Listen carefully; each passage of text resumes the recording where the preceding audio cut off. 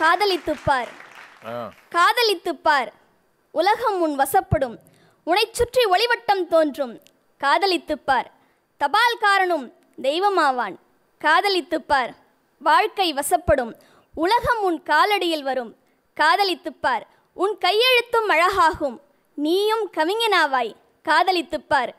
காதலி வந்துவிட்டால் வருஷமெல்லாம் நிமிஷம் என்பாய். அவளோ போய்விட்டால் நிமிஷமெல்லாம் வருஷம் என்பாய். காதலித்துப்பார் வானம் பூமி ஏன்? இந்த உலகத்தில் உள்ள ஒவ்வொரு உயிர்களும் காதலுக்காக படைக்கப்பட்டது என்பாய். காதலித்துப்பார் அவ்வளவு ஏன்?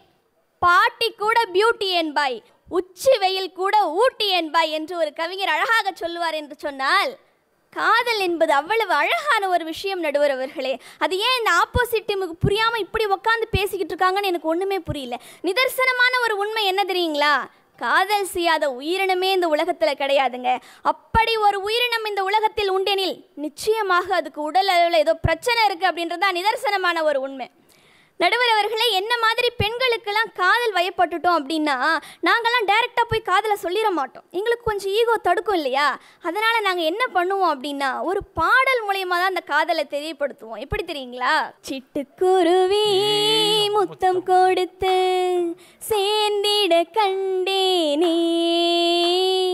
செவ்வானம் கடலினிலே கலந்திட கண்டேனே.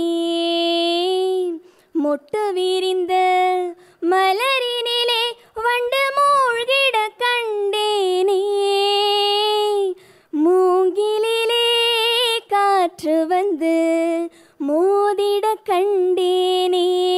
ஹோய் சிட்டுக்குருவி முத்தம் கொடுத்து சேர்ந்திட கண்டேனே. இப்படி காதலை அனுபவிச்சு வாழணுங்க. இங்கே ஆப்போசிட் டீம் பேசுறத பார்த்தா இவங்கெல்லாம் வாழ்க்கையில் காதலே பண்ணியிருக்க மாட்டாங்களான்னு எனக்கு ஒரே ஆச்சரியமா இருக்கு. அதுவும் எங்கள் அண்ணன் மானசீகன் அண்ணன் அருமையான ஒரு கவிஞர் அருமையான ஒரு பேச்சாளர் ரொம்ப அருமையாக பேசிட்டு போனார். அதாவது காதல் என்பது வெறும் உடல் சார்ந்த ஒரு விஷயமாக மட்டுமே பார்க்கின்றார் போல இருக்கு. அதனால தான் காதல் மேலே அவ்வளவு குற்றச்சாட்டுகளை பதிவு செய்தார். நிதர்சனமான ஒரு உண்மை என்ன தெரியுங்களா? காதல் என்பது உடல் சம்பந்தப்பட்ட விஷயமா அல்லது உள்ளம் சம்பந்தப்பட்ட விஷயமா என்று கேட்டால் காதல் என்பது வெறும் உள்ளம் சம்பந்தப்பட்ட விஷயமாக மட்டுமே இருக்குமெனில் நாம் காதலிக்க ஒரு நாய்க்குட்டி போதும்.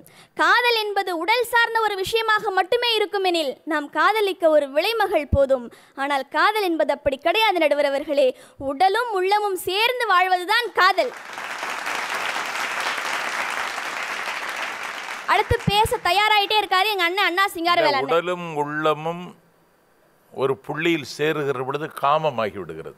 அதுவும் காதலில் ஒரு பகுதி தானே நடுவர் அவர்களே? எனக்கு முன்னாடி மானசீகரன் வந்து பேசினார்.